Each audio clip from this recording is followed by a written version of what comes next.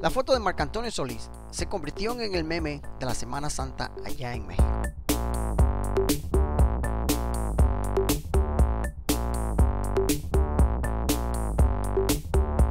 Bueno, con esta imagen él solamente quería promover lo que es la lectura, pero lo que empezó con buena intención se terminó siendo, como saben todo el mundo, un chisme y los memes en México. Todo empezó cuando él publicó una foto en su Twitter, leyendo un libro en su cama, con una bata puesta. Un libro siempre llevará nuestra imaginación a nuestros espacios. Buen día para todos. Así escribió él en Twitter y aquí está la foto. De que él mostró esa, esa foto, ya empezaron los memes con sobre Judas. Ahí le pusieron que sí. Saludos maestro. No se fíe mucho de Judas. También esta persona que está aquí le dice, Judas, tómame una foto así. Como que no sé que me vas a traicionar. Aquí otra persona le puso Ignacio, le dice, me urge localizarte. Su vida corre en peligro. Otra persona también le hicieron memes sobre la última cena de Jesucristo. Pero ¿qué es lo que piensan ustedes amigos? Es una foto normal, pero ya la gente, como siempre, toman las cosas a otro lado.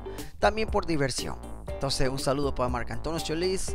Feliz día resurrección para todos ustedes, amigos. Les habla Víctor Carabeo.